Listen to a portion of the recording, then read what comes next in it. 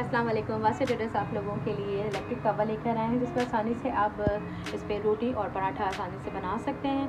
क्योंकि अभी आजकल जो है वो गैस की लोड शेडिंग चल रही है तो बड़ी परेशानी होती है रोटी वगैरह बनाने के लिए। तो ये बड़ी आसानी से जो है वो इस पर रोटी आपको बना, बनाएगी और काफ़ी बड़ा इसकी इसकी साइज़ है। ईजीली आप छोटी रोटी बड़ी या किसी तरह से भी बना सकते हैं। ये इसका थर्मोस्टेट दिया गया है, ये मैं इसको आपको लगा के दिखाती हूँ। इस तरह से इसको लगाना है और इसके साथ आपने हीट इसके खुद ही एडजस्ट कर लें, इसमें कम ज़्यादा सब आपको अपने हिसाब से एडजस्ट कर सकते हैं। अब ये मैं इस पर आपको रोटी बनाकर बताती हूँ।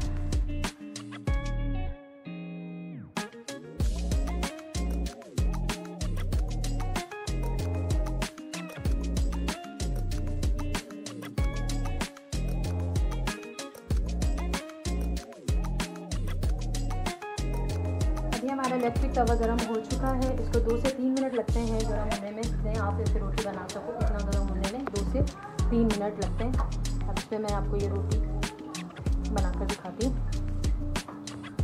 क्योंकि अभी जो गैस की लोड शेडिंग वगैरह इतनी चल रही है, इससे परेशान होने की ज़रूरत नहीं है। ये तवा जो है, वो आपको इजीली रोटी घर में बना कर देगा। और दूसरी बात ये कि नॉन स्टिक है, इसके ऊपर ना ही पराठा चिपकेगा और ना ही रोटी चिपकेगी। कहीं नहीं चिपकेगा। क्योंकि ये नॉन स्टिक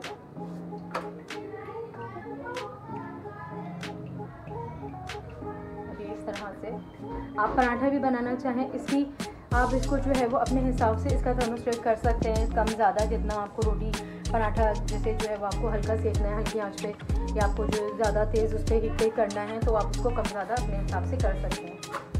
देखिए, हमारी ज़बरदस्त रोटी तैयार हो रही है।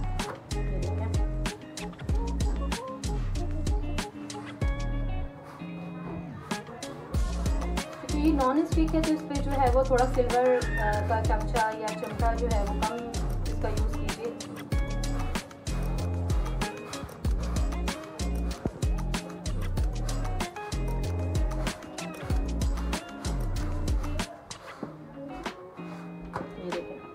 ज़बरदस्त सी रोटी हमारी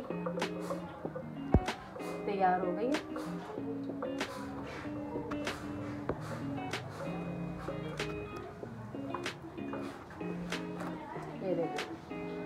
thank you for watching. Allah hafiz.